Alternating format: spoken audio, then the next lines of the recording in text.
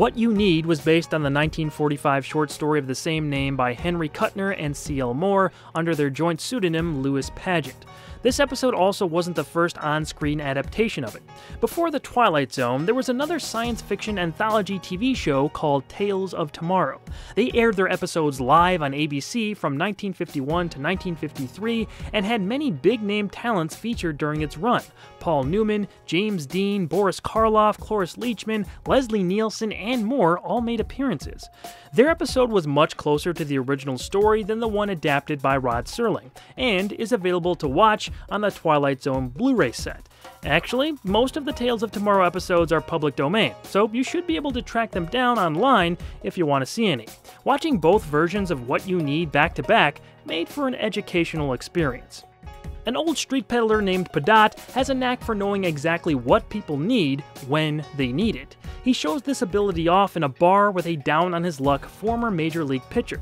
He pitched for a couple of years for the Cubs. What does he do now? he comes in here seven nights a week. Used to pitch for the Cubs and now gets drunk seven nights a week? Yeah, that checks out. Anyway, Pedott feels sorry for him and hands over a bus ticket. Bus ticket to Scranton, Pennsylvania. Now, what's in Scranton, Pennsylvania, old man?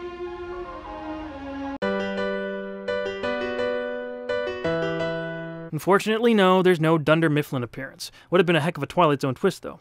A moment after he gets the ticket, the payphone at the bar rings. The man then hears he's been offered a coaching position for a minor league team in Scranton. He's supposed to meet with the general manager soon, but there's a stain on his suit coat. Earlier, Pedott gave a bottle of stain remover to a woman at that same bar. She takes the opportunity to offer it to the former pitcher, and they are immediately attached to each other.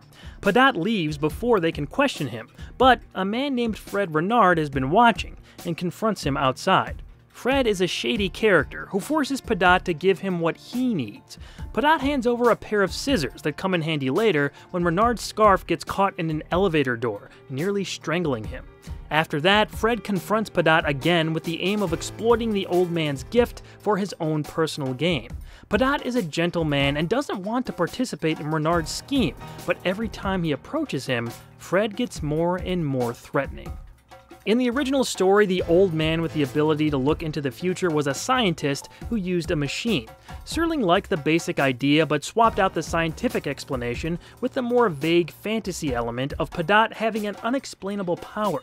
As such, it fits right in as a Twilight Zone episode, and one I enjoyed quite a bit. The pacing of this episode is a little slower, but it works because the tone here is so intriguing. The mood is set by some great looking shots of the dark urban neighborhood the story is set in. This was shot on the backlot at MGM, but they did a really nice job of making it look even more realistic than usual. I think the bright flashing lights and damp reflective streets add a lot of character to the atmosphere. The overall look of the episode is just really engaging. Credit to director Alvin Ganzer and usual DP George T. Clemens.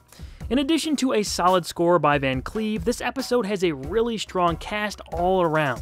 While Ernest Truex can be a little overly mysterious at times as Pedott, he shines in a few great exchanges. Serenity, peace of mind, humor, the things you need most, I can't supply. Steve Cochran as Renard plays a convincing angry brute. There's an underlying sadness to the character that's hidden under his indignant demeanor. I was born under a lousy zodiac or something. I've been getting the dirty end of the stick ever since I was four years old. The rest of the cast does well in their shorter parts too. The bartender, former pitcher, and spot remover woman pepper the beginning of this episode with charismatic turns. After dropping a hint on a winning racehorse, Fred continues to pester Pedott about giving him more things he'll need for the future. Forcing the issue, Renard looks to Pedott's travel case and takes out a pair of shoes. He thinks this is what he needs and puts them on, but they're too tight and have slippery leather soles. Pedott crosses the street to get away from him when a car turns the corner.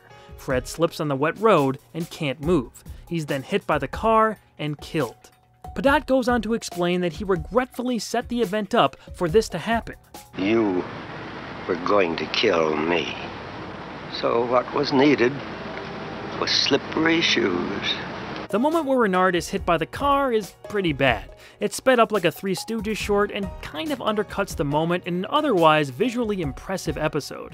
In the original story, he falls in front of a train, and in the Tales of Tomorrow episode, the car accident happens off screen. That's